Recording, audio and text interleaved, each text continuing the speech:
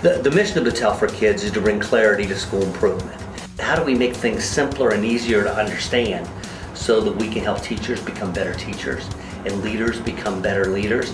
But all of our focus and effort is aimed at the end result, which is helping children to perform better, to think better, to adapt better. For example, we have tools and online courses that if teachers take and begin to use those practices will become more effective with students. And many of these practices have been mined from our research around highly effective teachers. Another technology product is one that is about Link. Uh, one of the things that we know teachers make a difference. And value added is a way of measuring the productivity of teachers. How do I take kids who start at different places? And our goal is to raise the achievement level. But kids don't come into us at the same place in the race. So we want to measure that growth that they make. But if the St. Louis Cardinals had 12 hits last night, doesn't tell me much.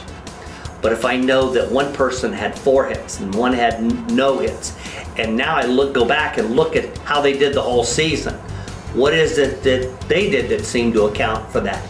And hitting instructors begin saying, look, here's why he gets so many hits. He does this. It's that kind of thing. But if we never knew who was getting the hits, we couldn't pinpoint them. So we want to know who's getting the hits with kids and being uh, particularly effective. And this software product, while not very sexy, links that in such a way that enables us to capture that.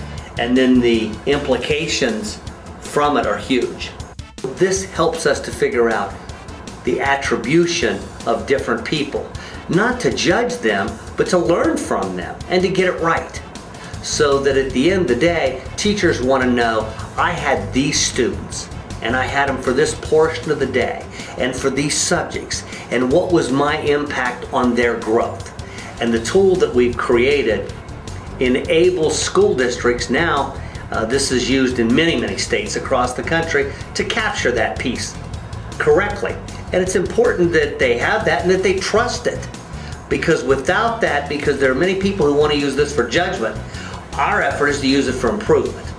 If you and I believe that teachers are the key to improving education, we really only have two choices. We either got to get new teachers, because we don't like the ones we have, or we need to improve the ones we have. My bet is on the second one, because there's a lot more of them there